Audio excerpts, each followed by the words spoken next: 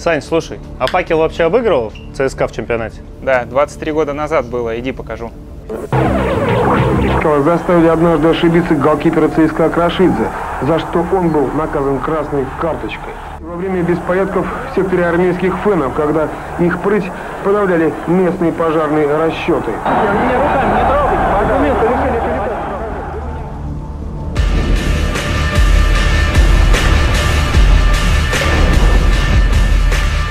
Факел подходит к матчу с ЦСКА в отличной форме, и мы наверняка снова увидим полный стадион.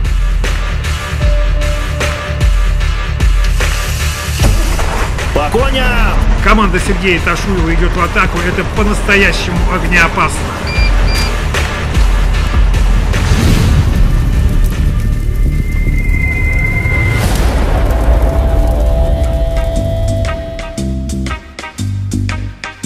Наша служба и опасна, и трудна, И на первый взгляд как будто не видна.